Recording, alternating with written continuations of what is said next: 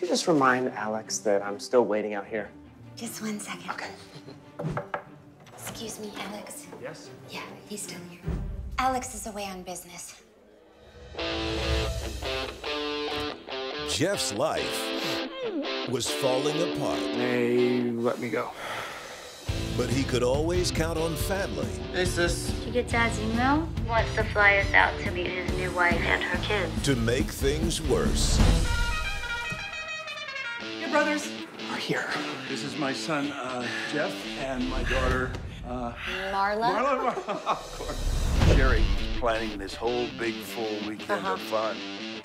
They are your stepbrothers, Jeff. No, they're not. They're your new wife's kids. We're playing paintball. Yeah, paintball! Woo! Hey, lab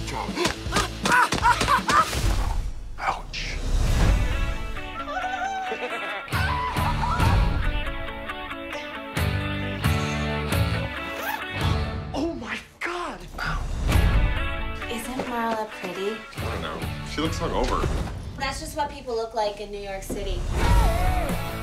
Sherry has brainwashed him, and she's turned him into this. Soft, sappy sap. Now he's all full of light and love. And probably Viagra.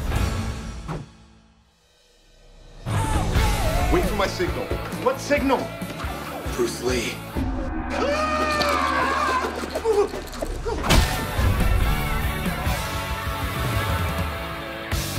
They're dicks. I know. All of them. They're awful.